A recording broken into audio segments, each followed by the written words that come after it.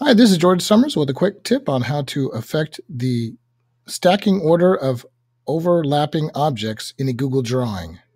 So sometimes we have multiple objects on the screen and we want them to overlap, but we need to control which objects are on top and which are on the bottom and uh, change that stacking order in our drawing.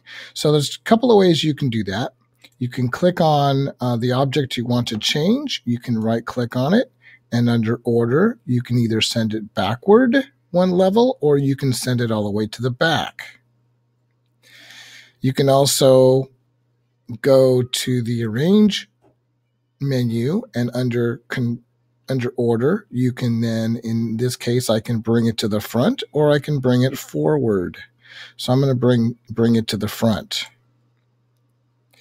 This is also really good if you want to put a background in your drawing and control what objects are on top. For example, if I want this red to be my background, I can resize it to the size of my drawing like that. And because it's now in the back behind the blue circle, it's now a background to my drawing.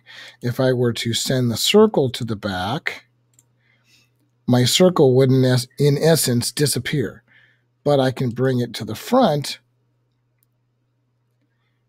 or send the rectangle to the back, and now I've got a background color for my image.